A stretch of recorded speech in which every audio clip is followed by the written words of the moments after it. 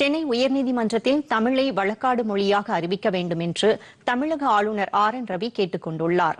சென்னை பல்கலைக்கழகத்தின் நூற்று அறுபத்து நான்காவது பட்டமளிப்பு விழாவில் கலந்து கொண்டு மாணவ மாணவியருக்கு பட்டங்களை வழங்கி அவர் உரையாற்றினார். தமிழ் மொழி இலக்கண இலக்கிய தொன்மை வாய்ந்தது என்று ஆளுநர் புகழாரம் சூட்டினார். இத்தகைய சிறப்பு வாய்ந்த தமிழ் மொழியை நாடு முழுவதும் பரப்ப வேண்டும் என்று வலியுறுத்திய அவர் பிற மாநில பல்கலைக்கழகங்களிலும் தமிழ் இருக்கை அமைக்கப்பட வேண்டும் என்று கேட்டுக் கொண்டார். நாட்டின் பிற பகுதிகளை விட தமிழ்நாட்டில் மாணவ மாணவியருக்கு ஏராளமான வாய்ப்புகள் உள்ளதாக குறிப்பிட்ட ஆளுநர் மாணவ மாணவியர் குடும்பத்திற்கு மட்டுமல்லாமல் நாட்டுக்கும் சேவையாற்ற வேண்டும் என்று வலியுறுத்தினார். நாட்டின் வளர்ச்சியில் தமிழகம் முக்கிய பங்காற்றுகிறது என்று தெரிவித்த அவர் பிற மாநிலங்களுக்கு முன்னோடியாக அது திகழ்கிறது என குறிப்பிட்டார்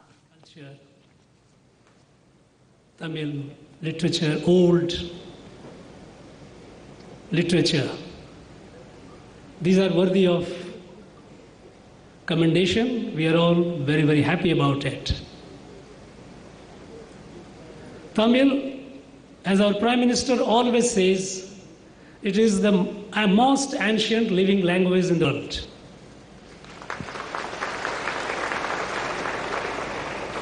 It is enormously rich, it's its intellectual and spiritual and literary content. நிகழ்ச்சியில் உரையாற்றிய முதலமைச்சர் மு க ஸ்டாலின் எந்த இளைஞருக்கும் வேலை கிடைக்கவில்லை என்ற நிலையை மாற்றும் வகையில் பல்வேறு திட்டங்களை அரசு தீட்டி வருவதாக கூறினார். மாணவர்களுக்கு வேலைவாய்ப்பு சார்ந்த வழிகாட்டுதல்களை எளிதில் பெறும் வகையில் நான் முதல்வன் திட்டம் உருவாக்கப்பட்டிருப்பதாக அவர் கூறினார்.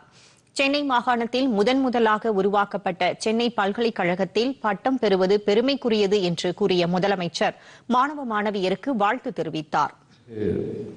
தமிழக ஆளுநர் அவர்களுக்கு என்னுடைய நன்றியை நான் தெரிவித்துக் கொள்ள விரும்புகிறேன்.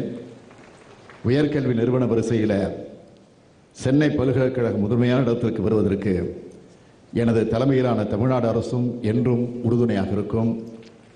சென்னை பல்கலைக்கழகத்துடைய வளர்ச்சிக்கு உறுதுணையாக இருந்து செயல்படும் இணை வேந்தரான மாண்புமிகு உயர்கல்வித்துறை அமைச்சர் பொன்முடி அவர்கள் துணைவேந்தர் பதிவாளர் ஆட்சிமன்ற உறுப்பினர்கள் பேரவை உறுப்பினர்கள் கல்விக்குழுவினுடைய உறுப்பினர்கள் பேராசிரியர் பெருந்தகைகள் மாணவர்கள் ஆசிரியரில்லா அலுவலர்கள் பணியாளர்கள் என அனைவருக்கும் என்னுடைய வாழ்த்துக்களை தெரிவித்துக் கொள்ள விரும்புகிறேன். நிகழ்ச்சியில் உயர்கல்வித்துறை அமைச்சர் பொன்முடி சென்னை பல்கலைக்கழக துணைவேந்தர் கௌரி பதிவாளர் இளங்கோவன் வெள்ளைச்சாமி மற்றும் அமைச்சர்கள் சட்டமன்ற உறுப்பினர்கள் கலந்து கொண்டனர்.